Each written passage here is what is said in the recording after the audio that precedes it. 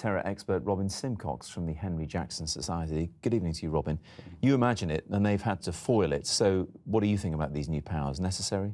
I think they're necessary. Um, this is obviously this terrorism threat is more substantial now than it has been for quite some time. The rise of ISIS, everything that's happening in Syria, returning fighters, is making the police and security service very nervous, and, and these uh, updated legislation is, is, a response to that. With bin Laden being killed and the threat from Al Qaeda seemingly sort of tailing off, or certainly declining, do you think was there any complacency at all there?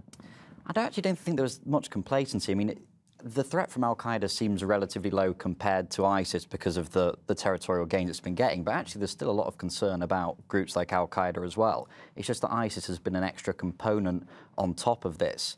Um, the rise of potential lone wolf attackers, the very simple attacks like you saw in Ottawa recently that are hard to stop. These are the kind of things that are getting uh, the security services nervous. I mean, do we hear too much about what the police and security services are trying to deal with and how they are perhaps struggling? Well, it's difficult for them here, isn't it? Because there is a accusation that they're not transparent enough in some of their work. All of the disclosures after Ed Edward Snowden, uh, people said there's there's not enough public consent about the kind of activities they're doing. But of course, if they open up too much, then terrorist groups know much more about our weaknesses. I think there is a lot of concern about our ability to stop the next terrorist attack. People have started using the language of it being inevitable.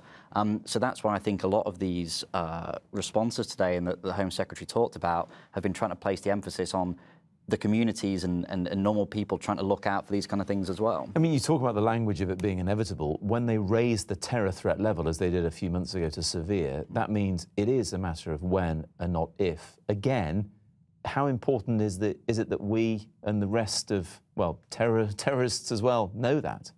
Well, the, the response to the, the terrorism threat level has gone up and down periodically over the last 10 years or so, and it doesn't always completely go in line with what is due to happen. It sometimes is what has just happened. In this case, I think because of the returning fighters generally from Syria and Iraq, there is a big concern about the about the small cell type of attack that we saw on Lee Rigby last year in London.